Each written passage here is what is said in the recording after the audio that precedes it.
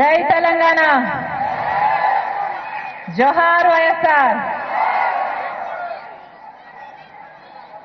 ఈరోజు ప్రజా ప్రస్థాన పాదయాత్ర రంగారెడ్డి జిల్లా దాటుకుని నల్గొండ జిల్లాకు ఎంటర్ అయింది. మాకు స్వాగతం పలకటానికి వచ్చిన ఉమ్మడి నల్గొండ జిల్లా నలుదిక్కుల నుండి వచ్చిన ప్రతి ఒక్కరికి మాల ప్రజలకు ప్రతి అన్నకు ప్రతి తమ్ముడికి ప్రతి అక్కకు ప్రతి చెల్లికి ప్రతి అయ్యకు ప్రతి అమ్మకు. మీ రాజశేఖర రెడ్డి బిడ్డ మీ షర్మిల శిరస్సు వంచి చేతులు జోడించి మనస్ఫూర్తిగా నమస్కరించుకుంటోంది.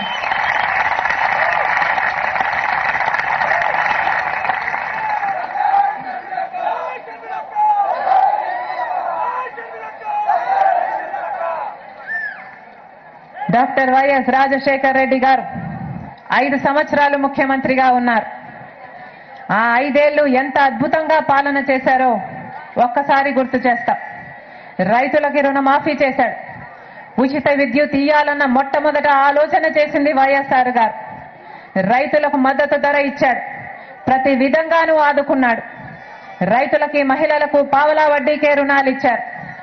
పేదింటి బిడ్డలు గొప్ప చదువులు చదువుకోకపోతే ఆ కుటుంబాలు ఎప్పటికీ పేదరికం నుంచి బయటికి రావని. మీరు ఏది కావాలంటే అది చదువుకోండి. మీరు డాక్టర్ అవుతారా? మీరు ఎంబీఏ చేస్తారా? మీరు ఎంసీఏ చేస్తారా? మీరు ఇంజనీరింగ్ చేస్తారా? మీరు ఏది కావాలంటే అది చదువుకోండి. ప్రభుత్వమే ఉచితంగా చదివిస్తుంది అని భరోసా కల్పిస్తే ఎంతమంది పేదింటి పిల్లలు గొప్ప చదువులు ఉచితంగానే చదువుకొని ఈరోజు లక్షణంగా లక్షలు సంపాదించుకుంటున్నారు. ప్రపంచంలో ఏ నాయకుడు ఆలోచించలేదు. ఒక పేద ఇంట్లో జబ్బొస్తే ఏమిటి పరిస్థితి అని. ఒక పేద ఇంట్లో జబ్బొస్తే ఆ కుటుంబం మొత్తం అప్పులు పాలైపోతుంది కదా అని ఏ నాయకుడు ఆలోచించలేదు. కానీ రాజశేఖర రెడ్డి గారు ఆలోచన చేశారు.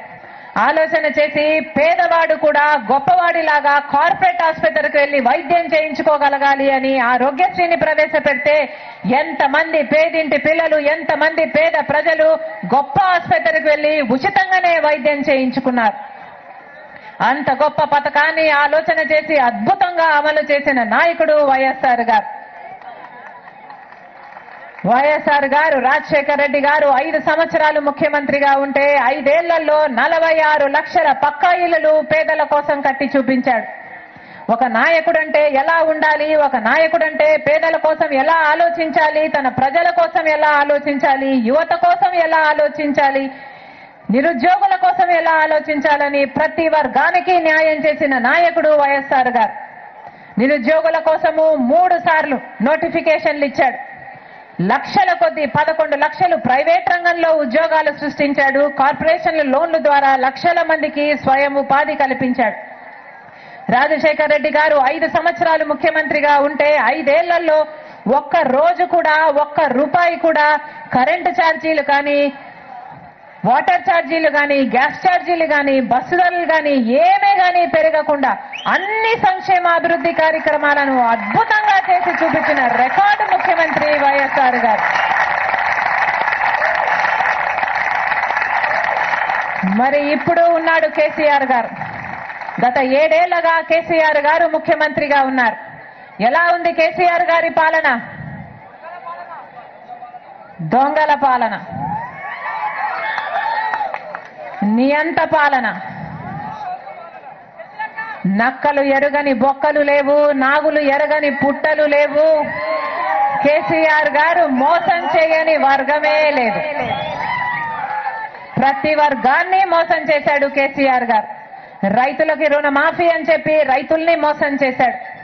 కేజీ టు పీజీ ఉచిత విద్య అని చెప్పి విద్యార్థులని మోసం చేశాడు.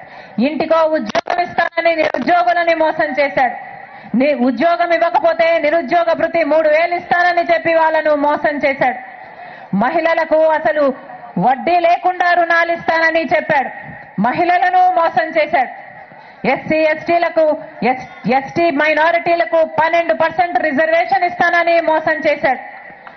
ప్రతి ఒక్కరికి అల్లుడు వస్తే ఎక్కడ పడుకోవాలి? ప్రతి పేద కుటుంబానికి డబుల్ బెడ్రూమ్ ఇల్లు కట్టిస్తానని మోసం చేశాడు.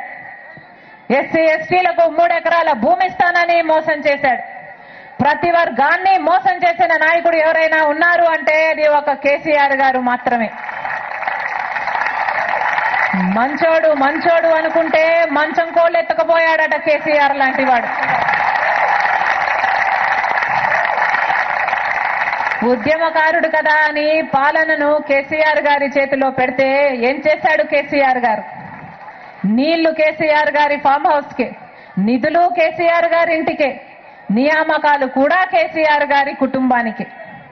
ఎప్పుడు ఆలోచన చేశాడు కేసీఆర్ గారు ప్రజల గురించి? ఎప్పుడు వెళ్ళాడు కేసీఆర్ గారు సెక్రటేరియట్?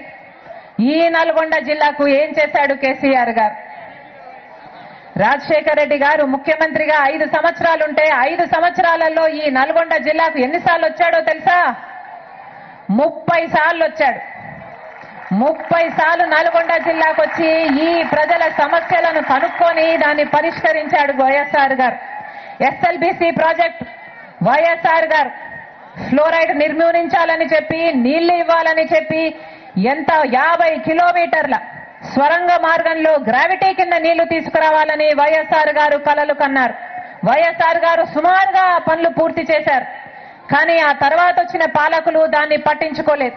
ఈ రోజుటి వరకు కూడా ఆ ప్రాజెక్టు పూర్తి కాలేదంటే లక్షల ఎకరాలకు నీళ్ళు రావాలి అంటే నీళ్ళు రాలేదు అంటే దానికి కారణం ఎవరు? కేసీఆర్ గారు రెండు వేల కోట్లు ఖర్చు చేస్తే ఆ ప్రాజెక్టు ఎప్పుడో పూర్తయిపోయేది. కానీ కేసీఆర్ గారికి ఆ చిత్తశుద్ధి లేదు.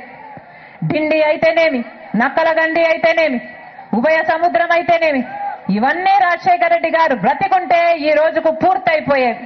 కానీ ఆయన వెళ్ళిపోవడంతో వాటి గురించి పట్టించుకున్న నాయకుడు లేడు. లక్షల ఎకరాలకు ఈ రోజు వరకు కూడా నీళ్ళు రాలేదు. నాగార్జున సాగర్.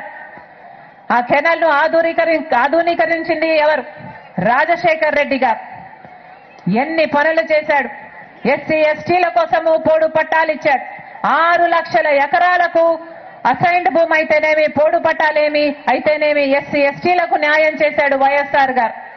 దళిత బిడ్డలకైతే రెండు వే- రెండు వందల బాయ్స్ హాస్టళ్ళు రెండు వందల గర్ల్స్ హాస్టళ్ళు కట్టించాడు ప్రతి విషయంలోనూ ఆదుకున్నాడు వైఎస్ఆర్ గారు. కేసీఆర్ గారు ఏం చేశారు? కేసీఆర్ గారు ఒక్కటంటే ఒకటి చేశాడు నల్గొండ జిల్లాకు అని ఇక్కడున్న ఏ ఒక్కరైనా చెప్పగలరా? తోడు పట్టాలు నేను పరిష్కరిస్తానని చెప్పాడు కేసీఆర్ గారు. అవసరమైతే నేను అధికారులతో వస్తా నేను కుర్చీ వేసుకొని ఇక్కడే కూర్చొని సమస్యను పరిష్కరిస్తానని కేసీఆర్ గారు చెప్పలేదా? మరి పోడు పట్టాల విషయాన్ని కేసీఆర్ గారు ఎందుకు పరిష్కరించలేదు? కుర్చీని లేవని పరిష్కరించలేదా? లేకపోతే ఆయన చిత్తశుద్ధి లేక పరిష్కరించలేదా? ఏ వర్గాన్ని పట్టించుకున్నాడు కేసీఆర్ గారు? కేసీఆర్ గారు లాంటి పనిమంతుడు పందిరేస్తే కేసీఆర్ గారి లాంటి పనిమంతుడు పందిరేస్తే కుక్క తోక తగిలి కూలిపోయిందట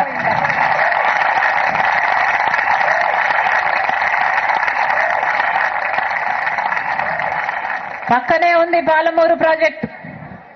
ఈరోజు అది దాన్ని ఆపేశారు అంటే కారణం కేసీఆర్ గారు కదా.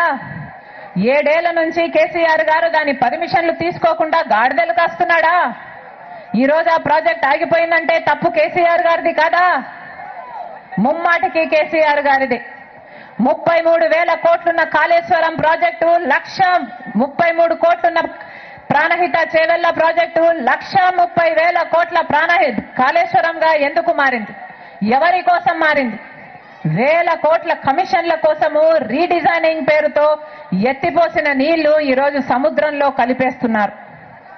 తీరా అంతా ఖర్చు పెట్టిన తర్వాత ఈరోజు వరి వేసుకోవద్దండి అని ఆజ్ఞాపిస్తున్నాడు కేసీఆర్ గారు.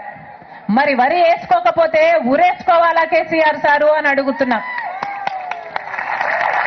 రైతుకి తెలియదా ఏ పంట వేసుకోవాలో తన పొలంలో? రైతుకు స్వేచ్ఛ లేదా ఏ పంట వేసుకోవాలో? వర్షాలు బాగొస్తే రైతు ఏమనుకుంటాడు? వరి వేసుకోవాలనుకుంటాడు. కానీ అది కూడా వద్దంటున్నాడు కేసీఆర్ గారు. అంటే ఈ రోజు రైతు వ్యవసాయము కూడా కేసీఆర్ చేతిలో బందీ అయిపోయింది. రుణమాఫీ అన్నాడు కేసీఆర్ గారు. చేశాడా? రుణమాఫీ అని చెప్పి మూడు లక్షల మందికి అది కూడా ఇరవై ఐదు వేలు లోపున్న వారికి చేశాడు. ముప్పై ఆరు లక్షల మంది రైతులని మళ్ళీ రుణమాఫీ చేయకుండా మోసం చేశాడు కేసీఆర్ గారు. ఎక్కడ జరిగింది రుణమాఫీ? పాపం రైతులకి రుణం మాఫీ కాకపోతే ఈరోజు బ్యాంకుల్లో ఆ రుణం మీద వడ్డీ భారము రైతే కడుతున్నాడు. బ్యాంకుల్లో రుణం ఉండడంతో కొత్త రుణము ఇవ్వటం లేదు. దాంతో బయట రుణం తెచ్చుకోవాల్సి వస్తుంది మళ్ళీ మిత్తి మీద మిత్తి పడుతుంది. అసలు రైతు నడ్డి విరక్కొడుతున్నాడు కేసీఆర్ గారు. ఏడేళ్ళలో ఎనిమిది వేల మంది రైతులు ఆత్మహత్యలు చేసుకున్నారు అంటే రైతు సంతోషంగా ఉన్నట్టు లెక్కనా? రైతు బంధు అని చెప్తున్నాడు కేసీఆర్ గారు. రైతు బంధు పేరు మీద ఇచ్చేది ఐదు వేలు పట్టుకునేది పదహైదు ఇరవై ఐదు వేలు. ఇన్పుట్ సబ్సిడీ లేదు విత్తనాలు ఎరువుల మీద సబ్సిడీ లేదు ఇన్సూరెన్స్ లేదు యంత్రలక్ష్మి లేదు ఏ పథకము లేదు. అసలు రైతులకి ఆసరాయే లేదు ఈరోజు. తల నరికెటోడి చేతిలోనే తల్వారు పెట్టినట్టు ఈరోజు కిరాతుకుని చేతిలో రాష్ట్రాన్ని పెట్టాం.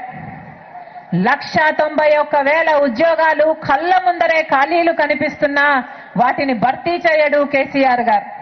పాపం వయసు మీద పడిపోయిందని ఎంతమంది ఆత్మహత్యలు చేసుకుంటున్నారు. ఉద్యోగాలు సంపాదించుకోలేక సమాజంలో తలెత్తుకొని తిరగలేక తల్లిదండ్రుల మీద ఆధారపడి బతకడం ఇష్టం లేక ఎంతమంది నిరుద్యోగులు ఆత్మహత్యలు చేసుకుంటున్నారు? అయినా దున్నపోతు మీద వాన పడినట్టు కేసీఆర్ గారిలో ఏమైనా చలనం ఉందా?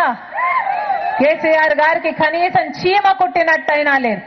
కేసీఆర్ కుటుంబం చల్లగా ఉంటే చాలు నాకు అనుకుంటున్నాడు కేసీఆర్ గారు ఆ ఫామ్ హౌస్ మత్తులో కేసీఆర్ గారు భోగాలు అనుభవిస్తున్నారు ఇంకో పక్క నిరుద్యోగులు ఆత్మహత్యలు చేసుకుంటున్నారు.